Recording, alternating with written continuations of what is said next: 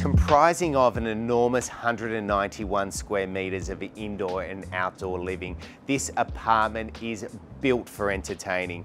I'm Matthew Cavallo from Ray White and let's go take a look.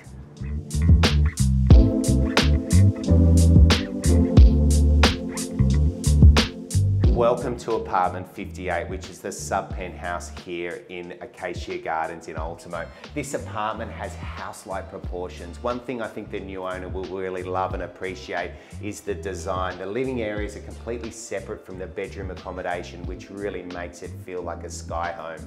You've got separate toilet, there's a family-sized bathroom as you come down the hallway, and then you come to the bedroom accommodation.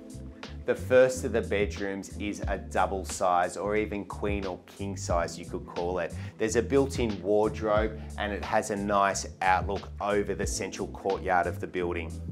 Further on down the hall, you've got another generous sized bedroom.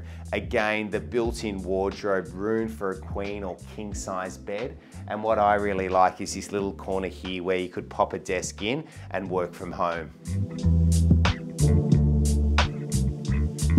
Then you come to the master bedroom. If you thought the other two were big, this one is huge. It's bigger than a lot of the one bedroom or studio apartments that we see in the inner city. So this room itself has the built-in wardrobe. You've got room for a king size bed. You've got the ensuite bathroom with separate bathtub, shower, and more than enough storage in there. But the thing that I really love about this apartment is the connection it has to this outdoor entertaining area.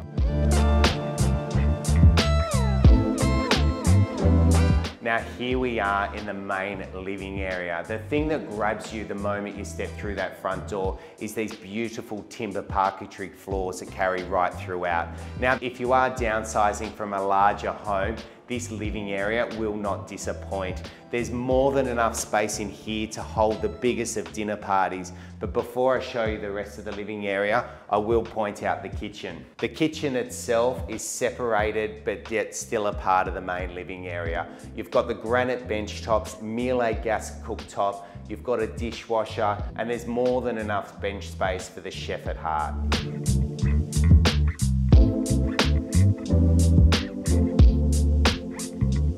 Now this living area is large enough for a family. There's more than enough space in here where you could quite easily hold two large sofas whilst also having a large entertainment unit or some additional storage. One thing I really like about this room is it's got this small balcony here which overlooks Wentworth Park and Wattle Street, but it is completely whisper quiet throughout. But how incredible is this rooftop terrace that this apartment has? It's very rare you see this much outdoor living space in an apartment at this price point, let alone in the inner city location.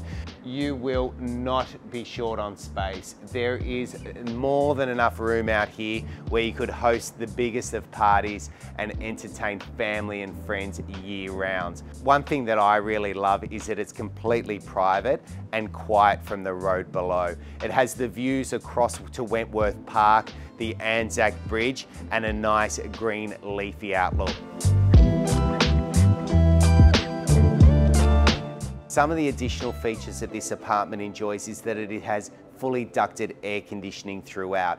The apartment itself is absolutely immaculate and there is nothing to do. However, if you did want to update the kitchen or bathrooms down the track, that's possible as well.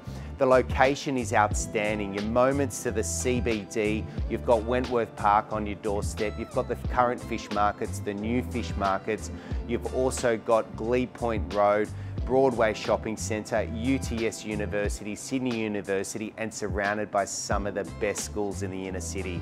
The building also has all the amenities that you will desire. There's a pool, gym, sauna, spa, and barbecue facilities. There's also an on-site building manager to ensure the place is well looked after. Well, thanks for letting me show you around apartment 58 here in Acacia Gardens. I'm Matthew Cavallo from Ray White and look forward to welcoming you at our next open home.